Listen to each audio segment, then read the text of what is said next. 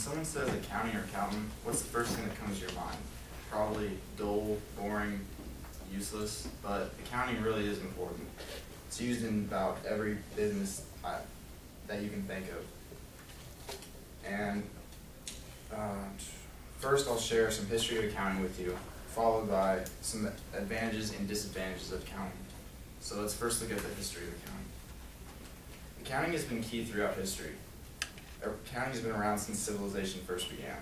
And according to Gary Gurix, accounting professor at Texas A&M, uh, accounting is as old as civilization itself.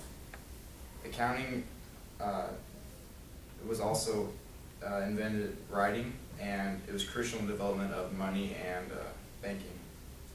And from Fremont College in 2011, it said that accounting uh, dates as far back as 7,000 years in Mesopotamia.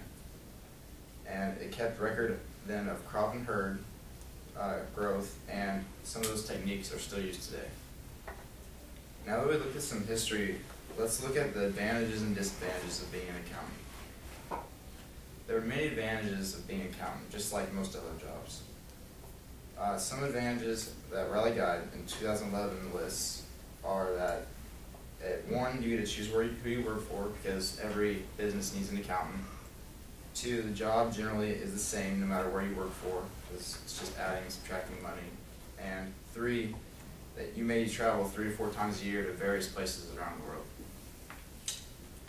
Another source, ONET, states that uh, the research uh, that was last updated in 2010 that accountants make around 62,850 a year, which is pretty good. And then uh, you generally need, if you get more schooling, you'll make more money, like most other jobs. And you uh, practically need no artistic ability, which is good for me because I have none. And you do not have to uh, repair any equipment like the printers or anything like that. Now let's look at some disadvantages.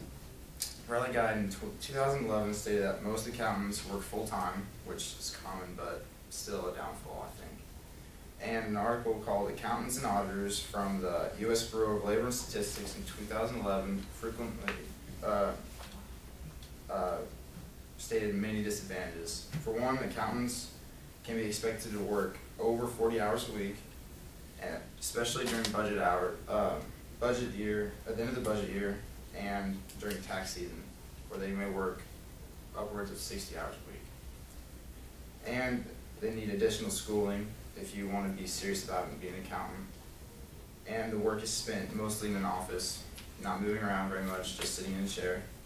And you have to prepare written reports, like, for about everything you do. So in conclusion, accounting may be full of numbers, but it's very important to all businesses. Accounting is key to history, and there are many benefits along with disadvantages to being an accountant.